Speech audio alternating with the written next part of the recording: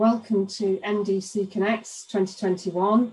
I'm Sarah Brockbank. I'm a lead scientist at the Medicines Discovery Catapult, and I'm hosting the session today with my colleague Darren Holmes. This is a series of weekly webinars that we run over the next few weeks on Tuesdays at two o'clock. So MDC Connects last year was a series of informative webinars on drug discovery, but this year we're focusing in on complex medicines. And this is the medicines industry is in a period of change and we've got a shift towards stratified complex medicines, but these come with more challenging discovery and development needs. So in this series of webinars, we're going to explore the opportunities that these, uh, this new class of medicines brings, but also the challenges. And we're going to be guided through the steps to take an idea hear from concept through to the clinic. And we're going to hear from those pioneers who are actually developing their own complex medicines, but we're also going to hear from the experts out and about in the community that are available to support them. So last week we had a really good introduction to complex medicines, and this week we're getting down to medicine, down to the business um, with um, our lead molecule and how we select it and how we characterize it. And I'm joined by three speakers. Um, firstly, Tilly Bingham, um, who's VP of Science at Concept Life Sciences. And Tilly's going to talk about developing the assay cascade for complex medicines. So while the questions may be similar to traditional drug discovery, the answers can be very different. And then we're going to delve into the detail of some analytical methods um, with two talks from, firstly from Jamie Chakowski, um, who's a postdoctoral scientist in advanced microscopy um, at the Medicines Discovery Catapult. Um, and Jamie's going to talk about how he uses advanced microscopy techniques um, to look at cellular internalization and trafficking of complex medicines.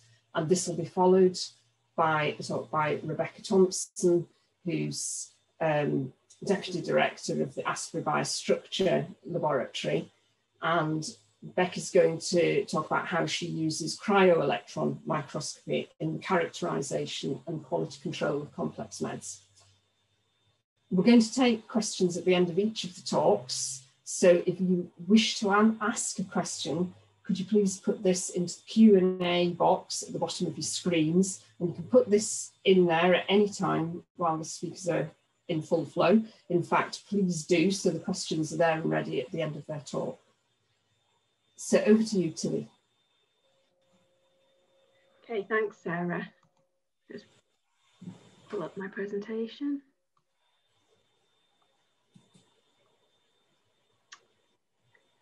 Could you confirm, Sarah, you can see the slide? Yeah. I can, yeah, lovely. Thank you. So thanks for the introduction um, and, and thanks for the invitation to, to speak to you all today. Uh, so today I'm going to be talking about the challenges of developing an assay cascade for complex medicines.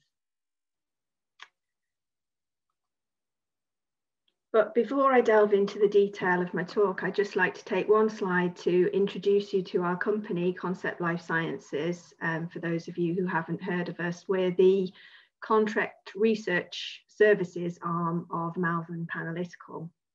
So we're a people-centric organisation working to solve complex human health challenges. And we have over 250 scientists across our specialist therapeutic areas of oncology, immunology, and neuroscience, and also our technical expertise areas of chemistry and analytical services. So we have over 25 years experience in the contract research services industry, and we are currently running a number of complex medicine programs um, across a range of, of different modalities.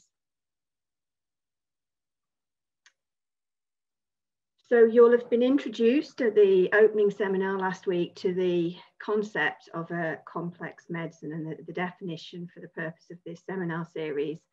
And I'm sure you're taken from that that it covers a broad and diverse range of different modalities. So from drug dendrimer conjugates, antibody drug conjugates, ADCs, um, liposomes, uh, nano delivery systems um, through to advanced delivery mechanisms, uh, looking at uh, intratumoral and, and direct targeting. So I'm sure you can appreciate there's not going to be a one size fits all approach to a screening cascade for these complex medicines. But in fact, um, that's no different to the approach for a traditional medicine, where in fact each cascade is necessarily bespoke for the particular target product profile and therapeutic indication that's being developed, that the product's being developed for. And in fact, when we think about what we need to consider when designing and developing a screening cascade for complex medicine, the what, the, the questions that we need to ask are often uh, the same. And indeed, the approach of beginning with a higher throughput in vitro assays and building to the more complex models is also the same. So for example, uh, asking early on questions such as, does the complex medicine demonstrate the expected mechanism of action in vitro? And can it be linked to a desired phenotypic effect? Then thinking about is there an in vivo disease model which can link these in vitro mechanism of action observations to the effect that's seen in vivo. And here, in the same way as with traditional medicines, we need to think about species considerations and how that animal model might map onto a human uh, situation and whether we need to consider any um, translational bridging models uh, to build that understanding. We also need to think about can the effect in vivo be linked to exposure to our complex medicine and thus an understanding of the exposure efficacy relationship, the PK-PD model that we need to build for the program. And finally, we also need to think about which translational human in vitro models are going to enable prediction from the in vivo and in vitro models to what we expect to happen in man in patients in the clinic. And there we're thinking both about efficacy and safety. So the questions and the what of what we need to consider may be very similar, but the how we answer those questions uh, can be very different um, and much more complicated to deliver. And that begins right at the beginning when we try to uh, ask the question of what is the complex medicine and at the very beginning, how do we make and analyze it? For a small molecule API, there are very established ways to characterize that uh, product in the early stages with, for example, NMR and LCMS. But for a complex medicine, uh, we may be working on a much higher molecular weight scale. We may be talking about a polydisperse sample. Uh, we may be um, talking about things which have complex compositional uh, structures. And once we've solved the problem of analysis for the complex medicine itself, uh, when it's initially made, we also need to consider if that analysis is going to be uh, translatable to something we can use for in vivo studies when we're looking to assess exposure later down the cascade uh, to assess PK/PD.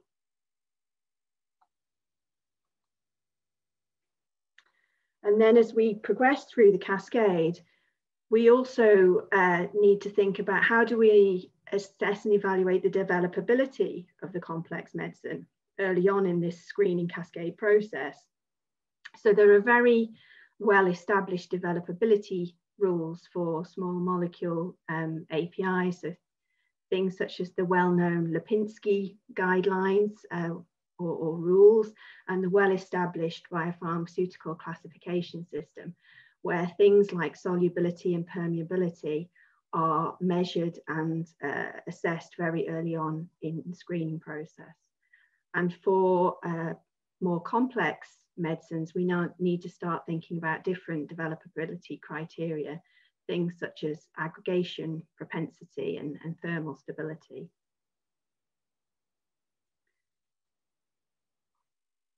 So the, the key message to to get across i guess before we move into the rest of the talk is that when designing the screening cascade we do need to answer the same questions but um, we may need very different methods in order to um, uh, analyze our drug product, our complex medicine.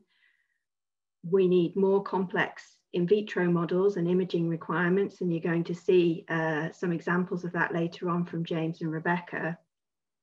And we also need to start thinking about what will our developability concerns be for our drug product moving forwards, and they're likely to be very different from the things we would consider for small molecules.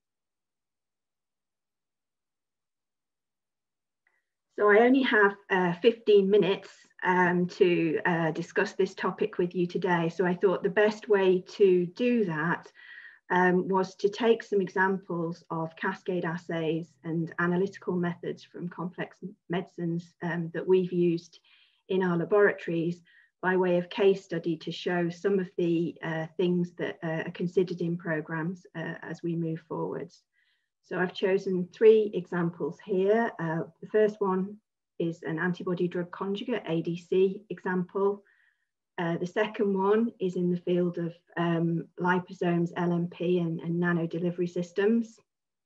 And the third one um, is an example of an oncolytic virus.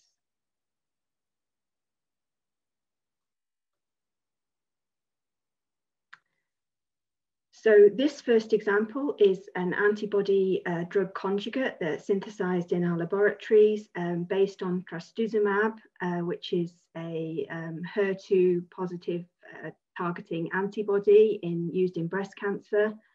Um, and this instance, uh, we were doing a bioconjugation of a cytotoxic warhead based on monomethyl auristatin E um, with a citrulline valine linker um, and linking it to the uh, free cysteine residues on trastuzumab. So the, the first assay characterization that we uh, are looking to do on this product would be the same as for a traditional antibody, um, looking at things uh, like antigen binding, um, affinity, and stoichiometry. Um, and for that, we uh, use a technique uh, such as ITC or, or, SPR is also often used in this um, scenario. But because we have uh, modified the antibody and conducted a bioconjugation uh, process, we also have additional analytical con considerations for this complex medicine. And we need to understand something called the drug antibody ratio, so the DAR. Um, and for that, we need to use a technique such as um, gel permeation size exclusion chromatography, um, like with the Omnisec, to understand the compositional analysis of our complex medicine. Um, so understanding how many payloads have we successfully added to the um, antibody, so there are eight cysteines available for conjugation. Um, what's the population um, uh, heterogeneity of our product and what's the monomeric purity um, and what's the molecular weight. So those are our um, early characterization uh, techniques in our cascade, but as we uh, move through the program, we may want to uh, start thinking about developability uh, properties when comparing our uh, antibody ADC candidates. Um, and moving to techniques such as dynamic light scattering and differential scanning calorimetry to start measuring uh, properties such as aggregation propensity, uh, thermally induced aggregation, and looking at the T onset and, and TM uh, to begin to understand the thermal stability profile of our different candidates.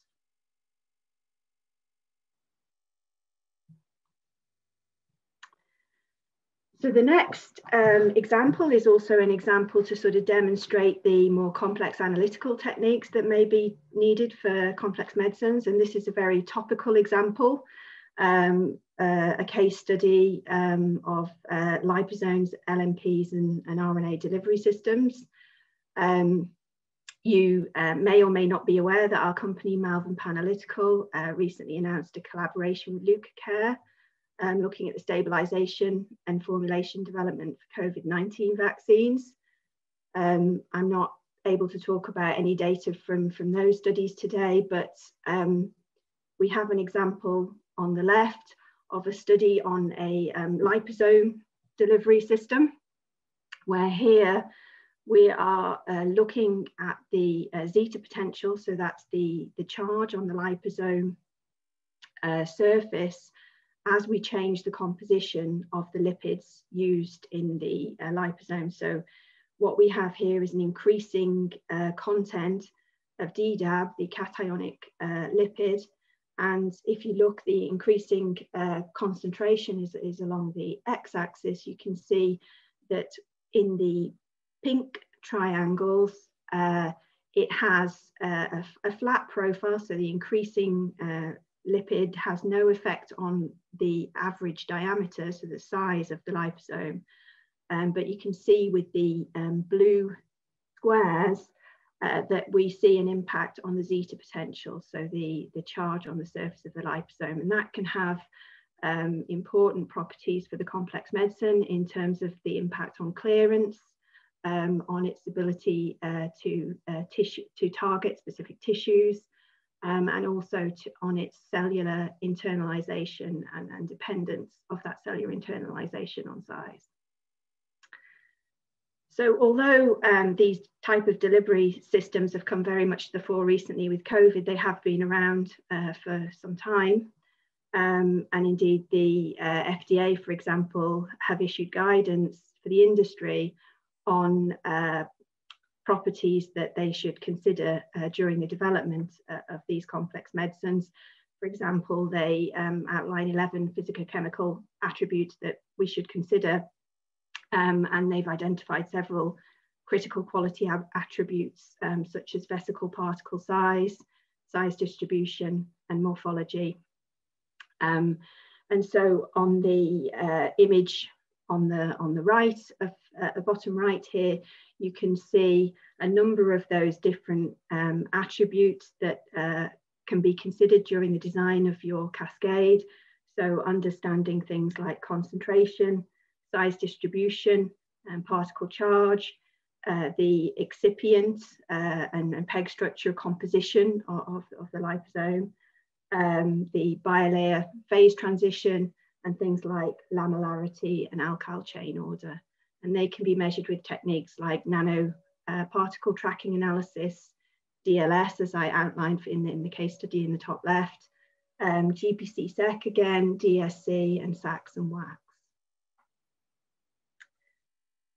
So um, my last example um, is, a, is a change of tack.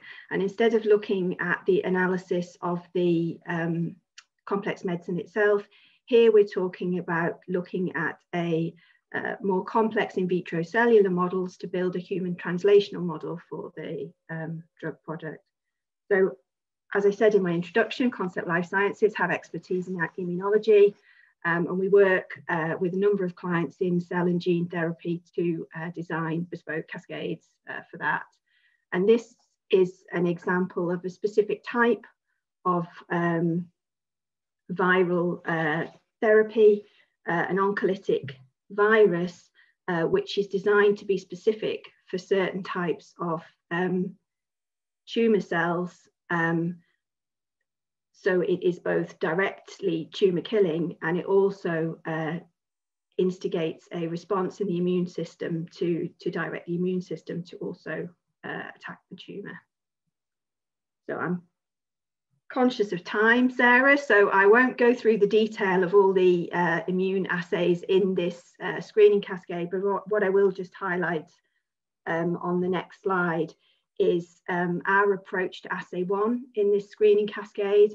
And here um, we're looking at determining the transduction efficiency or lytic potential um, in human uh, tumour cell lines in both a replication permissive and non-permissive uh, cell line. So remembering this oncolytic virus is designed to target specific uh, tumor cells. So here we use uh, a reporter uh, transgene, uh, green fluorescent protein, uh, which um, when the virus infects cells and effective transduction takes place, we see expression of GFP, and we have two different endpoints, possible endpoints you can use for this readout. So the, The top one is flow cytometry uh, readout. You can see in the non-infected cell lines, we have only 2% GFP expression there, whereas in the infected cells, we have 96%. Uh, That's a, um, a, a, single point in time. Flow cytometry is a, a destructive technique, so you get a, a snapshot view. Um, an alternative approach is in the images in the bottom and it shows the, the, the power of some of the imaging techniques that you're going to hear about from James and Rebecca that we can then watch this process over time. Um, and again, it's looking at a susceptible cell line and the um, expression of GFP and successful uh, transduction of, of our um, uh, viral vector uh, versus a, a, a non-susceptible uh, cell line.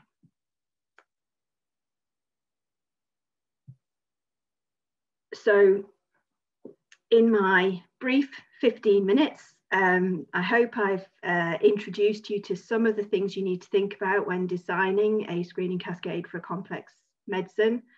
Um, I think uh, the questions that we need to answer are always going to be the same. We need to understand the predicted safety, um, the efficacy, and to think about testing the developability of, of our medicine as, as we build a, a cascade. Um, but although those questions are the same, then we are going to be pushed to need to use much more complex technical methods and experiments to deliver the, the answers. So that's going to be very different methods for drug product analysis um, that, that go into these studies, as well as more complex in vitro models and imaging requirements um, within the studies themselves. Um, and we also need to be mindful uh, that the developability and processing concerns are going to be very different, but there's a lot of guidance being issued by the regulators on the kinds of things we need to be thinking about there. So um, on that note, thank you very much, Sarah, for the invitation today, and I'll hand back to you um, for, for questions. Okay, thanks very much, uh, Tilly. Um, got a couple of questions coming in here. One around the design make test cycles. Ordinarily, we would just be working with chemists. Um, how does the complexity increase if you're having to work with um, scientists developing the warhead as well as the technology in your assay cascade? So I think the um, the design make test cycle I in in my limited experience because it's not me working on a lot of these programs i should uh, caveat that and I, I, work on a lot of the um, chemistry programs because that's my background um, but it, it can be uh, slower in terms of the uh, when you're mixing the chemistry uh, in with the uh, the products so the cycle times can be slower yeah I can imagine Okay, I think that with um, time limiting on this today, we will move on to Jamie next. Thanks, Tom.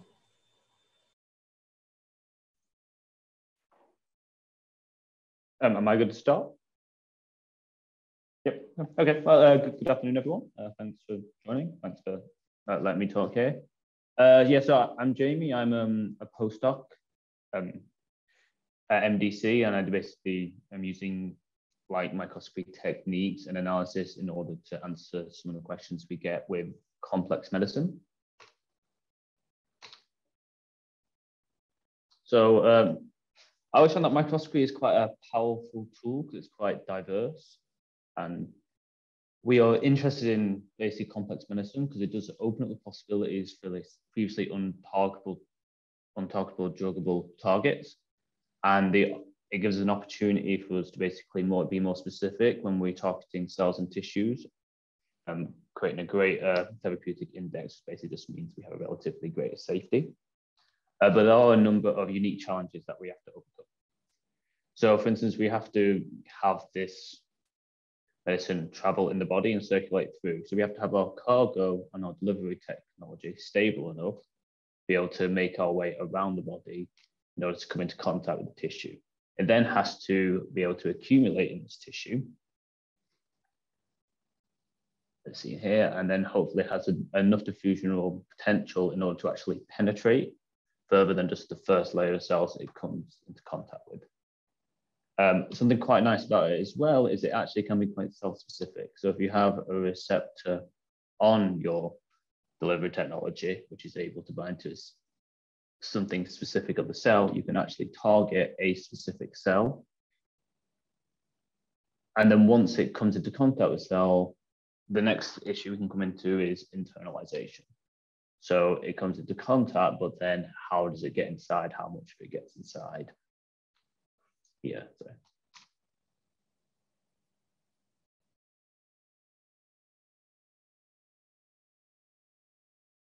There you go. So once it actually gets internalized, then we're interested in the actual cargo delivery. So what could happen is the lysosome forms and it could just degrade everything and you don't get any delivery of your cargo. Or hopefully what happens is the cargo does get delivered.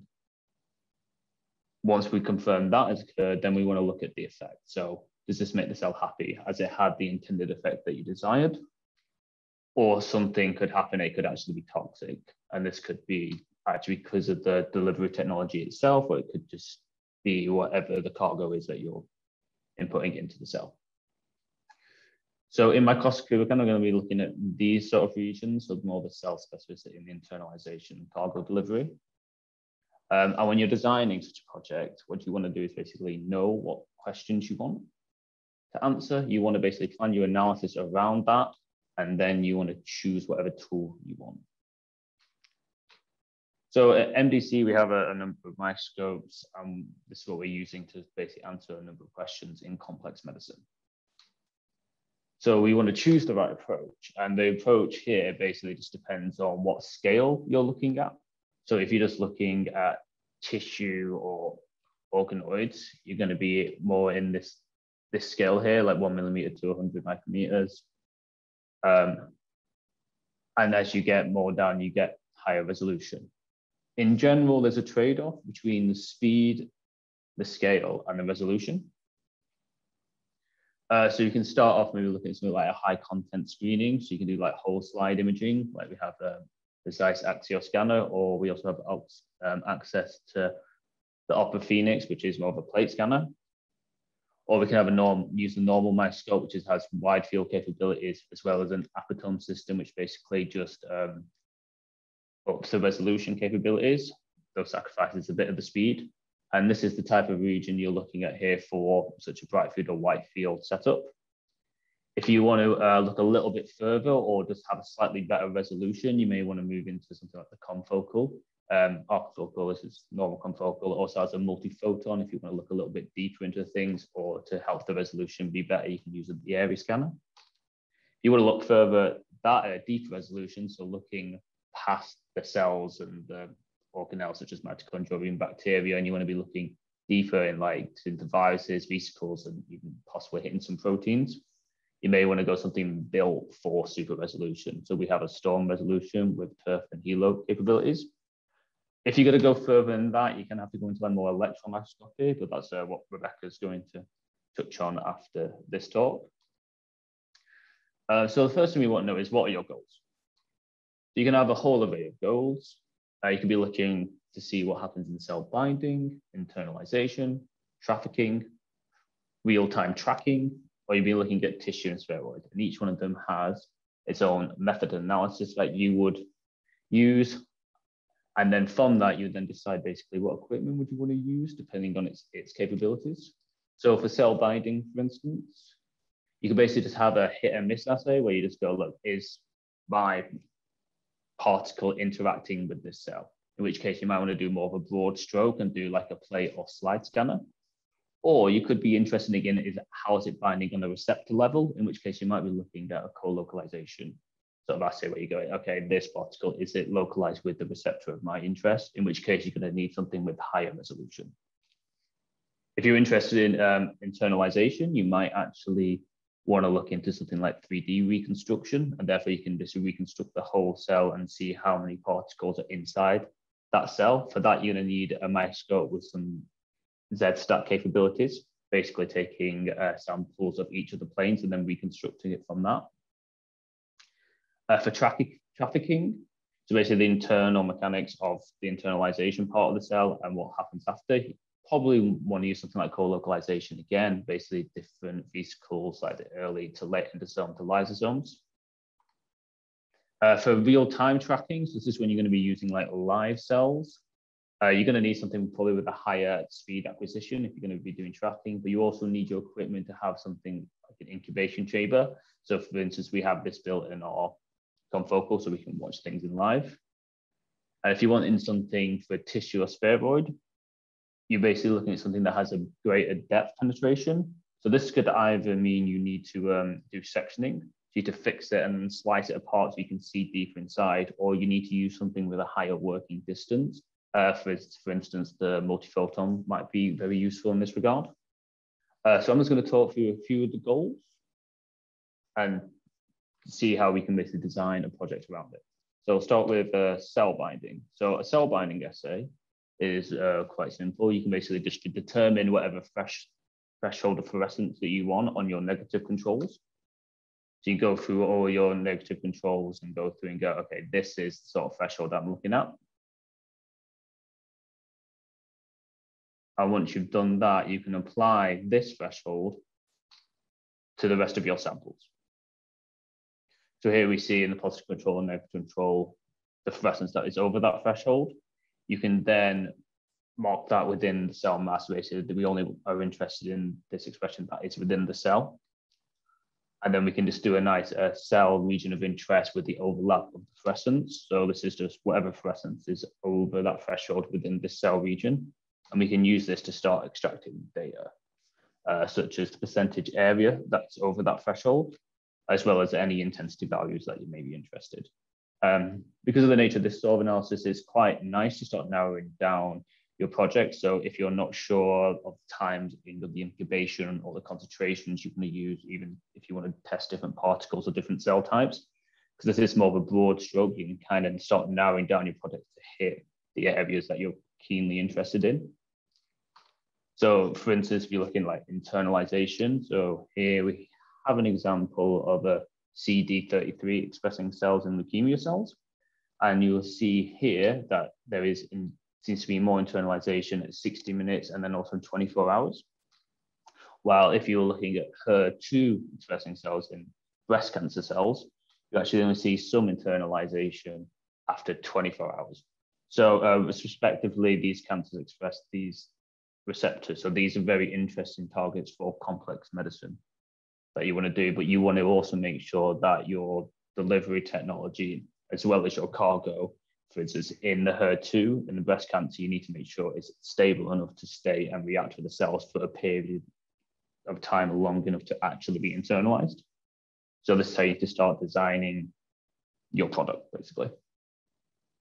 Um, from this, then you can start doing some quantification of the kinetics. So how how long does it take here? So you can start off with um, you're taking your image of your cells, and then you can segregate it into parts. So you have your whole cell, then you can go but here's a membrane, here's a cytoplasm. I'm interested to see is there an accumulation of my cargo inside of the cytoplasm. So this is the accepted spot. So you can do this over a period of time, and then you can actually get this sort of spot space to see where it's efficient for you to start really honing in the analysis and how long would such a treatment take. The next stage you could do is basically doing trafficking. So once it's like inside the cell, you want to be basically looking at co-localization. Uh, for this, um, I'm kind of just using antibodies. I don't think it's, you don't need to necessarily isolate two antibodies. It's just this example. So you'd start doing like, okay, so we need to see that it's binding to the receptor and then internalization would occur. And then you start to get something like the early endosome. So then you can use co-staining, something like with RAB5, which is early endosome, see when that's occurring. You can have it in the late endosome, and then if there's the recycling going on, maybe you want to stay in with RAB11, which is the recycling endosome.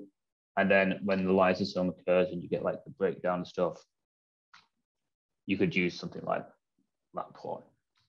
Then hopefully here you'll get your release of your drug or your particle or cargo, and there will be a, a happy effect. Uh, so what I'm going to go now is just go in a quick case study of what we have, have done in one of the examples here. So we're looking at basically the in vitro analysis of some silica particles. as done by N4 Pharma. So the aim of this is basically to evaluate the internalization of these particles in correlation with the, the desired effect. So the approach is we have uh, this positively charged silica particle labeled red. And then the plas we have a, add a plasmid of DNA that encodes for green fluorescent protein. And because uh, the DNA is negatively charged, it's electrostatically attracted to this particle.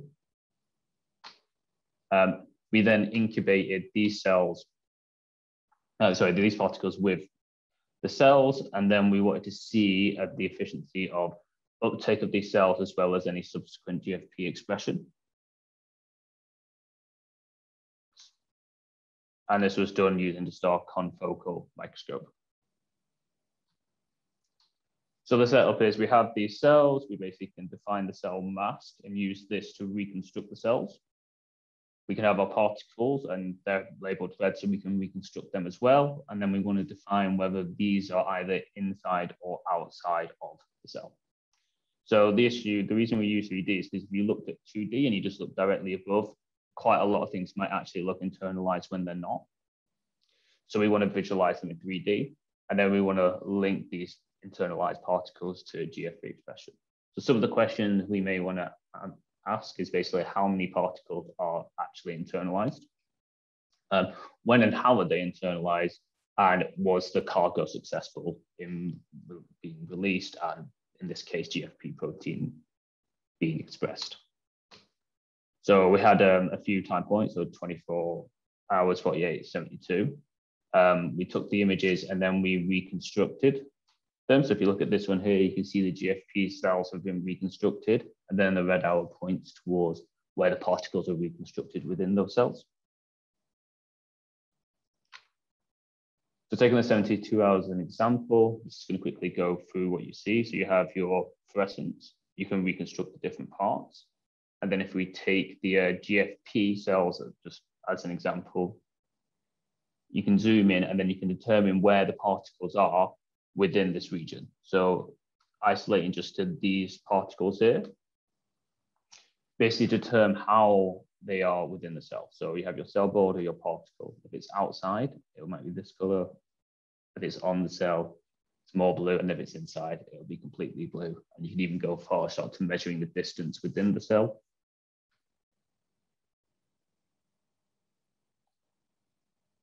Yeah. So this is just basically just to show you some of the examples of how powerful microscope can be in just visualizing certain aspects of complex medicine. So I'm hoping in conclusion, that's what I've managed to show, um, and that there's a, that microscope is applicable in just a wide variety of delivery technologies and cargo cargoes. Um, it's enabled to be deep and adaptable evaluation of just a wide varied amount of scales, different resolutions. So basically you can look at cells in either 2D, 3D, monoculture, co-culture, you look at tissues, you can look at organs on a chip, you can look at them live, you can look at them fixed, and you can answer just a huge array of questions. So like what do these things actually bind to? Are they internalized? How are they trafficked? Do they actually get to the lysosome? Do they release their drug while they're in the lysosomes? Uh, do they co-localize with anything in particular and look at their subcellular distribution? And just to end, this is a little video that kind of just shows how pretty microscope can be. Uh, so yeah, thank you. Hope you enjoyed. Thanks, Jamie. Um, we've got time for just one question, um, and it's a practical one here. When offsetting speed for resolution what does that mean in terms of test duration and or sample throughput per, per hour per day? And is it to do with the throughput itself um, or the, your capacity to data anal analyze that?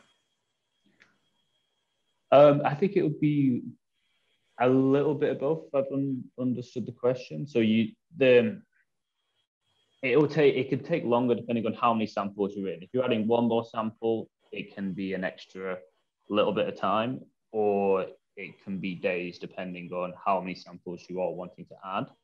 Um, on the analysis basis, once again, it depends on how you are doing the analysis. Um, I personally tend to lean towards more of an automated pipeline. So once I'm happy and I've set my settings, I can set it running. And yeah, it may take a couple of hours, it may take even a day or two, but at least I don't actually physically have to be there. So in the long run, you save time because rather than going through and trying to do a smaller amount yourself individually, you can just keep, have stuff running in the background while you go and do something hopefully more efficiently. Okay, thank you. Thanks very much. Right, we're going to crack on to Becky now. Um, if you want to set up there, Becky. Uh, great, I'm just realised that you can't see me yet, so I'm just going to start my video and then hopefully you can see me and hear me. Um, great, so thank you very much to the Medicines Discovery Catapult team for inviting me to speak to you today. And a massive thank you to Tilly and Jamie for making my life much easier with their wonderful presentations. And I'm very jealous of, um, of Jamie's beautiful um, uh, fluorescence microscopy slide. So I'm here to talk to you from the grey world of cryo-electron microscopy, but hopefully um, you'll be able to find it equally as exciting. Um, so hi, my name is Becky and I head up our biological research facilities um, at the University of Leeds, um, which for those of you who haven't visited the beautiful city of Leeds, um, this is us where the big black arrow is. So within the Faculty of Biological Sciences, we have a whole range of, of research facilities, but my first love and my um, other, uh, my, I guess my main technique hat um, is, is, is around the use of cryo-electron microscopy. And at the University of Leeds, we're, we're really fortunate to be very well kitted out in terms of technology. So we have um, two uh, Titan Krios microscopes, as well as three additional transmission electron microscopes, which are really the best systems in the business if you're interested in studying um, the structure of, of, of proteins and protein complexes and other macromolecules. So um, uh, before I kind of delve into some examples relating to complex medicines, uh, just to make sure everyone on the call is on the same page today, just wanted to start off um, with a quick introduction to cryo-electron microscopy and what we mean by cryo, cryo-EM. So when we refer to cryo-EM, um, we're referring to uh, essentially a sample preparation technique, really, uh, where we take our uh, specimen of interest, whether that's a eukaryotic cell or, uh, or a liposome, an exosome through to a macromolecular complex. And we um, uh, essentially go through a process that we call plunge freezing of that specimen. So we form a very thin film, say 50 nanometers um, to 100 nanometers thickness, containing our specimen of interest. And then we freeze that into liquid ethane, which is cooled by liquid nitrogen. This sample preparation um, technique has the ability to preserve um, the very, in terms of a, a, fixation technique, it's essentially a physical fixation technique. We're taking our sample um, that's floating around in solution in, in, its completely native state, and we're freezing it so quickly essentially we preserve it in that moment in a layer of what we call vitreous ice or um, uh, ice crystal free ice. And this means that when it comes to imaging, for example, a macromolecule, we're preserving every position of every amino acid position, um, every um, small molecule binding, every antibody binding um, on, on, onto that complex. So this is a really powerful sample preparation technique for us to be able to get our biological specimens into what is essentially quite a harsh environment inside our electron microscope where we're going to be imaging with high energy radiation, putting the, the specimen into a, uh, into a vacuum. So um, I just, so once we've prepared our samples, we put them into a, a transmission electron microscope for imaging. And these are the kinds of images that we typically get out. And I've chosen here an icosahedral virus to show you because that means they're nice and big and, and, and um, uh, obvious to look at. Um, but of, of, course, we can look at everything, I guess, from 80 kilodalton sized complexes right the way um, through to um, complexes of many tens of megadaltons. And this is one of the key advantages with using cryo-electron microscopy um, compared with other structure determination techniques in that it can deal with um, very high molecular weight um, structures and as we'll get to later, um, uh, polydispersed and heterogeneous specimens. So most of the complex medicines case studies I'm going to talk you through today um, uh, use a technique um, called single particle processing to turn these grey images that you see before you take that um, uh, essentially two-dimensional information uh, and turn that into a three-dimensional structure. Um, in the interest of time, I'm not going to um, uh, go through that in detail today, um, but essentially that involves us going through each micro, uh, each image or micrograph, picking out each of our individual particles and then feeding those into a, um, a, computational algorithm that will then align each particle that is at the same orientation to give us a better signal to noise ratio um, image of, uh, of that specimen. So this is an example of some what we call 2D class averages of this data. And then all we need to do then is work out the angular orientation between each of these two-dimensional images, and then we can use that to, to reconstitute finally a colourful, obviously false colour, um, uh, reconstruction of our um, macromolecule of interest. So again, in this case, this, this is icosahedral virus. So essentially single particle processing um, is, is an averaging technique. But the advantage is that we can use this this averaging technique to solve the structure of a wide range of different molecules. And one class of um, macromolecules that um, we are quite commonly able to solve structures of um, is of target macromolecules with antibodies, fab fragments, nanobodies, or other um, uh, protein uh, binders um, bound onto that target. Um, and that can be a really powerful, and so essentially um, we're able to solve a structure where we can get high resolution structural information of where our binder is sitting. So just wanted to talk you through a couple of case studies there. So in this first case study, we have um, a bacterial um, outer membrane protein known as BAM. Um, and this is an essential, um, uh, it, it, oh, sorry, hopefully you can't see that flash thing. Sorry, I'm just gonna get rid of that. Um, so the BAM complex is an outer membrane protein. Um, it has two states um, and um, an organ, uh, a company was able to identify um, a complex medicine, a bactericidal um, fab fragment, Um, which they found um, inhibited the complex um, and indeed killed the bacteria, but it wasn't known how how the fab was was achieving this. And so in this work, which was um, done in the laboratory of Neil Ranson at the University of Leeds, um, they were able to solve a high resolution structure of this membrane protein um, with fab, fab fragment bound. Um, and they were able to essentially show that the fab fragment was locking this membrane protein in a particular conformation, which therefore uh, enabled the scientists to understand and rationalize the inhibitory effects that the fab was having. And of course, this beautiful structure was solved at such high resolution, it was possible to see uh, where, the, where the loops of the fab were interacting with the protein. So that was a really lovely example. Um, so I guess that's an example of, of, of, a fab, of an antibody derivative. But the, the approach, um, the technique works just, it, just as effectively where you have an, an artificial um, or a de novo designed uh, protein binder. So a particular um, technology, again, which, which is used um, uh, in the lab of Darren Tomlinson at the University of Leeds is these Affimers um, uh, protein scaffolds, uh, which is essentially antibody-like binding proteins. And this particular project, they were interested in, in finding binders to these to act as um, a, a, method to identify plant pathogens in the field, uh, which was a really cool and novel project. Anyway, the structural side of this is that they were able to solve a high resolution structure um, of this um, of, of, this virus uh, with the Affimer bound, and again understand in really um, in really lots of detail um, the precise mechanism by which um, uh, by which that Affimer bound.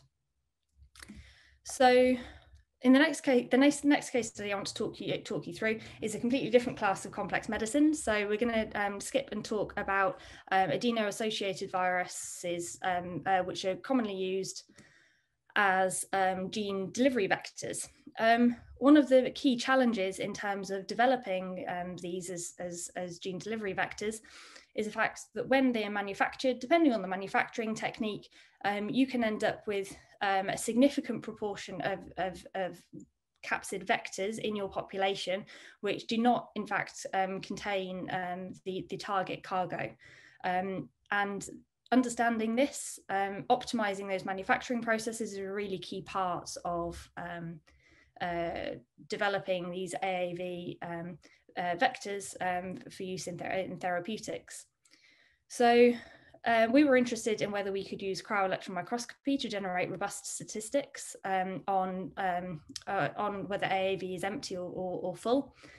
And indeed, what we can do, and they've shown some images on the right here, um, we can you can essentially solve a three-dimensional structure of your AAV virus capsid um, and you can see the yellow one on the left is clearly empty on the inside and the one on the right has got stuff in the middle. Um, even though um, to the outside the the organization of the capsid protein is you know down to the loop it's identical in terms of that structure of the outer capsid. Um, so we then went through a process of trying to say okay well what is the far what is the fastest that we're able to um, to do this full empty analysis and rather than going to the stage where we were solving final structures of the virus, um, we found that we could use, we could start stop essentially part way in our image processing pipeline, um, collect data on um, an AAV population, um, and using a kind of an intermediate um, step in our in our processing pipeline, we were able to show um, we could clearly identify empty versus full particles, and quite rapidly get a uh, and, quite, and quite rapidly get a full and empty ratio um, for a population. Um, and I'm going to touch on this a little bit more at the end, but we're currently working on how we can um, make this particular pipeline perform in a way uh, which is as um, automated and high throughput as possible. And the final example that I wanted to talk through with you today in terms of a case study for using cryo-electron microscopy in the characterization of a complex medicine um, is looking at liposome and exosome or um, uh, characterization. Of course, really actually this applies to, um, to, to, to, any kind of membrane bound structures. Um, so many of these membrane bound structures have got um, great potential as, as drug delivery vehicles, um, as Tilly describes some beautiful examples in her work. Um, we have quite a large number of projects in this category coming through my facility at the university. Unfortunately, none of those results were ones that I could share with you today. Um, so I've, I've, I've lent on this beautiful publication from uh, that was published um, uh, just last year now, which shows uh, essentially just um, essentially images of exosomes are just taken. So there's no processing involved in this. It's literally just taking taking a picture of the different of the different exosomes. And this particular example was exosomes that had been extracted um, from a patient sample and then imaged. And basically the, the aim of this was to show the heterogeneity in terms of these the, these exosome structures. Uh, and i guess what I'd like you to take away from this is that even just in a single image, it's really easy to see whether your stru- uh, whether your individual um, exosome or liposome is um, unilamellar, if it's multilamellar, um, if it is heavily packaged with cargo like G and HR, um, uh, and whether there are any interesting sort of membrane budding events and things going on. And this can be really complementary to some of the other ensemble measurements, which are commonly used, um, like dynamic light scattering, for example, um, in the in the context of um, of characterizing these populations. Um, of course, this gives you two-dimensional um, information, and as Jamie love, um, described in his cell example, where you have uh, you have the nanoparticles, whatever, either outside or inside the cell, and saying, well, how can you validate that? Um, we can actually go one step further in terms of the characterization of these membranes and use a, an approach rather than single particle electron microscopy, which the previous two approaches um, used, use an alternative approach called cryo-electron tomography. So in cryo-electron tomography, rather than taking, um, uh, we essentially take images of our specimen, but we take multiple images at different um, angular orientations. So we, we tilt the sample, we move it around because we have and because the the relationship between those images has a known angular relationship, we can then use those, reconstruct them um, to form a tomogram. Um, and that tomogram can then give us, she said, I'm just going to play, that tomogram can then show us um, information about, for example, protein binding in the membrane. So um, this is an example of something that was published just this week, actually. Um, and this is actually my own, own uh, work um, showing a, a, protein complex which is embedded into a membrane. Um, and actually, in this particular case, it's forming a pore. But the approach could be used equally as successfully for, um, for example, an integral membrane protein. Um, obviously, using this technique, we were able to show that these particular liposomes were pretty empty. Um, but in the case of exosomes, or if you're loading up a particular um, uh, uh, yeah, liposome system, you'd be able to see some beautiful three-dimensional information about the packaging happening there. Okay, so she says, so those are the three case studies I wanted to talk you through. So hopefully you're going, hey, cryo-EM is awesome, but you know, how am I going to get into this? How long is it going to take me?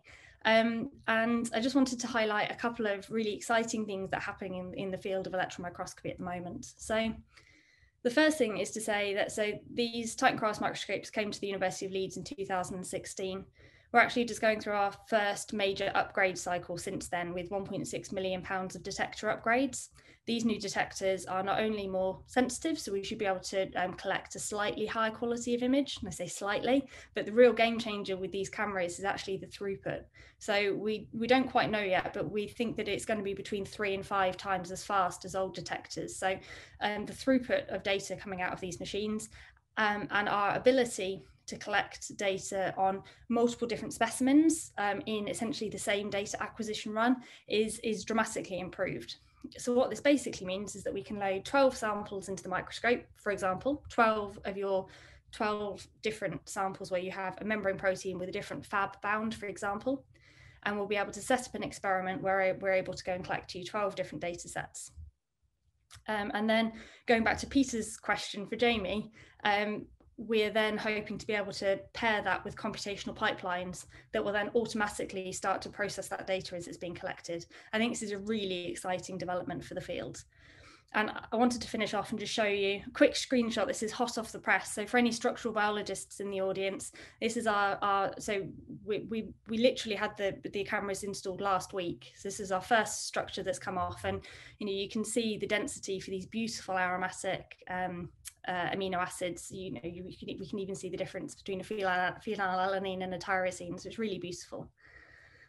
Um, and I think I'll just briefly uh, so yes, I, I, I think I'll, I'll, just briefly mention this slide. So essentially, what we're hoping to do is to take um, the kind of quality data which I showed you in the previous slide, feed them into these computational pipelines, and start to generate structures.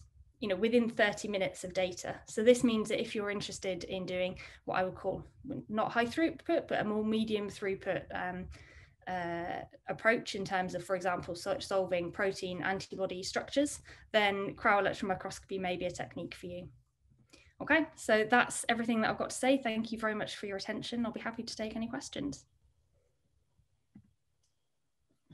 Okay, Becky, so um, with time sort of right at, at, at, the limit here, so I'm going to give you one question. What do you think the future opportunities are for cryo-EM in complex meds very quickly? I, I think re- really the key thing for me is that increase in throughput. So whereas you know five years ago it would have taken me days to do anal- to do collection and analysis of one target plus fab, we're now at a stage where you know we should be fairly comfortably saying, oh well, we can do 24 for you in 24 hours, you know, an hour a sample, and getting valuable um, information out. So that for me moves us from a very low throughput technique to a much more high throughput technique. So um, I think I'm going to be interested to see how far we can push that. Excellent, thank you. I am just going to thank all of our speakers for today's really interesting talks. We're moving on next week um, to understanding and optimizing our complex medicine. And we've got three talks. Um, one, Zara Rattray from the University of Strathclyde, who'll be talking about the early assessment of prototype nanomedicine, nanobio interactions, followed by Jayne Lawrence from the University of Manchester, who's going to be talking about the interactions of colloidal gene delivery vehicles with model biomembranes. Oh, I've got my teeth in today. And finally, Robert Weller from LGC is going to take on the tricky challenge of determining drug levels and PK profiles for complex drugs. So I look forward to seeing you all next week, next Tuesday, and thank you to all our speakers for today. Thanks. Bye.